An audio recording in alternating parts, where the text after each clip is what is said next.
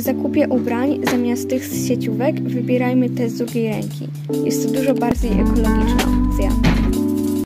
Nie pakujmy drugiego śniadania w plastikowe woreczki. Zamiast tego używajmy wielorazowych opakowań oraz śniadaniówek. W drodze do szkoły wybierzmy spacer lub przejażdżkę rowerem albo hulajnogą. Przy zakupie mydeł i żeli do ciała wybierzmy te w kilkulitrowych pojemnikach, którymi możemy uzupełniać wielorazowe dozowniki. Przy wieczornym przygotowywaniu się do snu warto pamiętać o oszczędzaniu wody przy myciu zębów oraz zastąpieniu długich kąpieli krótkim prysznicem. Jedną z ważniejszych rzeczy jest segregacja śmieci. Nie zawsze to, gdzie mają trafiać poszczególne rzeczy jest takie oczywiste, dlatego warto edukować się w tym temacie.